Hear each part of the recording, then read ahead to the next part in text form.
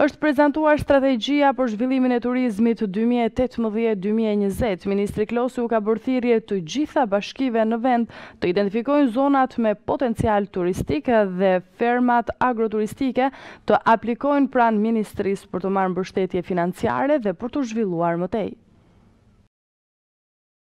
Prezantohet Strategjia për Zhvillimin e Turizmit 2018-2020. Ministri Klosi u bën thirrje të gjitha bashkive në vend të identifikojnë zonat me potencial turistik dhe fermat agroturistike të aplikojnë pranë ministrisë për të marrë mbështetje financiare për t'u zhvilluar më tej. Ministri i Turizmit tha se për vitin 2018 do të ketë një rritje prej pesëmbëdhjetë njëzet për qind të numrit të turistëve që do të vizitojnë Shqipërinë. Sepse besojmë fort Që në qoftë se kemi një infrastrukturë të plotë të këtyre qendrave të agroturizmit, ne realisht mund të kemi një bum turistik të brendshëm në radhë të parë, të qytetarëve shqiptarë në radhë të parë, për të gjetur arsye për të vizituar dhe për të kaluar një uikend brenda vendit. Jemi në situatën që shfrytëzojmë në një periudhë të shkurtër, relativisht shkurtër, kapacitetet tona turistike dhe kemi mangësi shumë të madhe në